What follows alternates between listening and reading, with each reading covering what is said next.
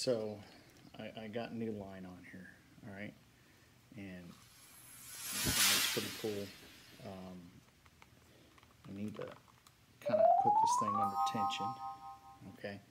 Um, now, uh, it, it, it was difficult, okay? I mean, it was because you got to understand how this thing's put together, okay? So I, I, this thing's pretty reasonably clean on the inside. I, I haven't really done nothing on the outside with it.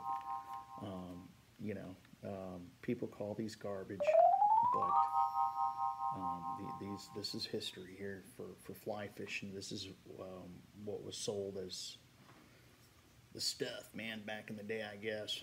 But I, I, I got this uh, fly rod, um, this fiberglass one, and apparently it was made in like 60, in the 60s, okay?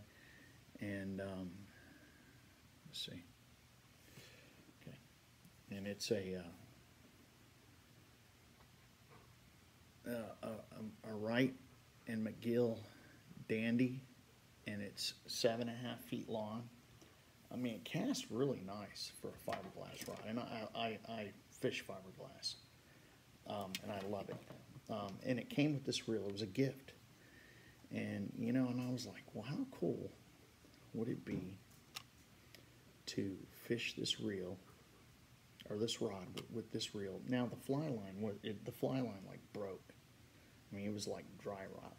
Uh, the the the cork handle still had the cellophane on it. Okay, so I don't know. Um, but I mean, uh, this is a beautiful rod, and it and it's got some back, decent backbone.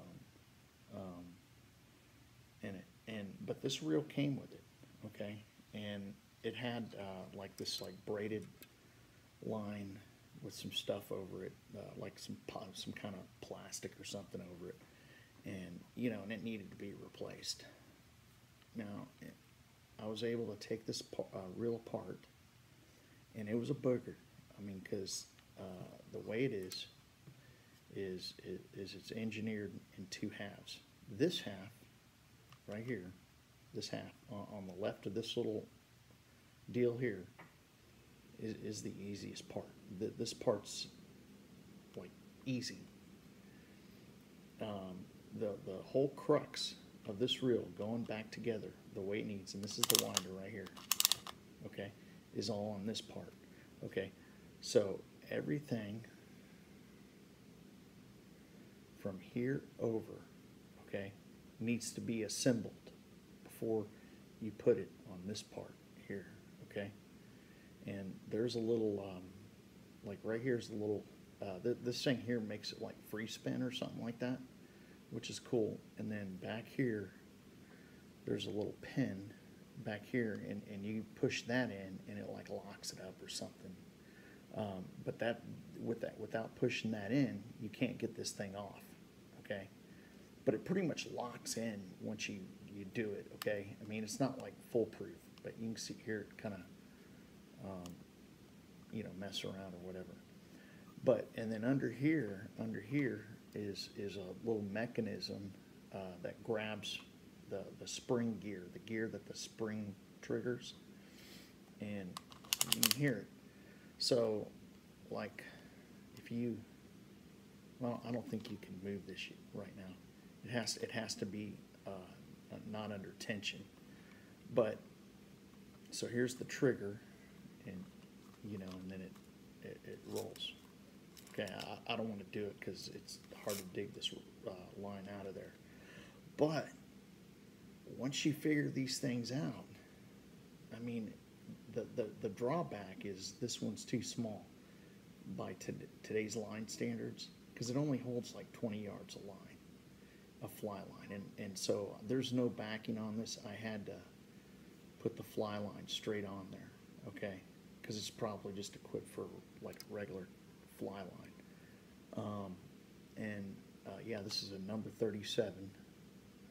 So thi- this, this, this is a cool experience, let me tell you. You just can't let this reel outthink you, okay? And once you look at it, what it is, then it makes total sense the way it's put together, okay? So, um, I mean, I, it, it, just, it's just, it, it looks, it just looks, I mean, it just looks so cool with this, uh, reel on it. I mean, it's just, it's just, it's just, I mean, it's just, it's just a nice looking vintage look, you know? And, uh, I mean, I'm, I'm glad I did it, okay? Um, I, I don't think I'm gonna be happy with this line on it. Um, and, and, and am I gonna take this apart? Well, I can take it apart and put new line on it. Yeah, I can do that. Um, what I'll probably do in the future, I, I might just keep this as is or whatever. Um, but this, um, but th- this is cool here. This is a cool experience. And, uh, you know, very, very, uh, engineered very weirdly, you know, nothing that defies logic. Whoever did this should have probably like built a car out of rubber bands or something, I don't know. But people are calling this vintage garbage, that's fine.